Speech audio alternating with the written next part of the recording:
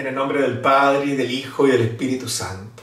La gracia y la paz de Dios nuestro Padre, y de Cristo Jesús, Hijo de Dios e Hijo de María, esté con ustedes. Del Evangelio según San Lucas. Un sábado en que Jesús atravesaba unos sembrados, sus discípulos arrancaban espigas y frotándolas entre las manos las comían. Algunos fariseos le dijeron, ¿por qué ustedes hacen lo que no está permitido en sábado?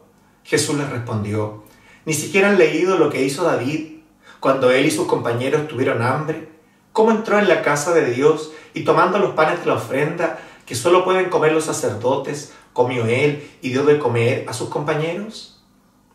Después les dijo, el Hijo del Hombre es dueño del sábado. El rigorismo farisaico muchas veces, apegado estrictamente a la norma, rompe contra toda lógica y sentido común.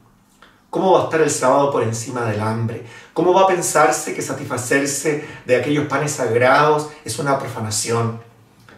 No solo es necesario evocar la experiencia de David y de sus compañeros, es de sentido común.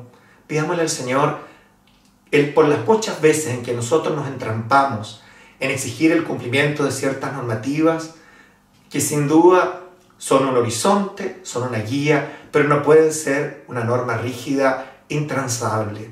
Pidámosle al Espíritu Santo de la mano de la Virgen, la cual se dejó cubrir por la sombra, que nos regale flexibilidad y tino, criterio y buen humor a veces también para saber elegir lo que agrada a Dios, lo que es lo correcto, lo que Jesús y María harían si estuvieran hoy día actuando entre nosotros.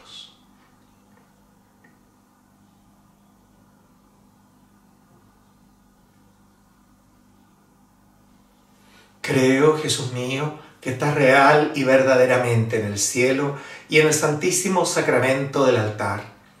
Te amo por sobre todas las cosas y deseo vivamente recibirte dentro de mi alma. Mas, no pudiéndolo hacer ahora sacramentalmente, ven espiritualmente a mi corazón. Y como si ya te hubiese recibido, te abrazo y me uno del todo a ti. Señor, no permitas que me separe de ti. Que por intercesión de la Santísima Virgen María, en este día sábado, les bendiga Dios Todopoderoso, el que es Padre, Hijo y Espíritu Santo.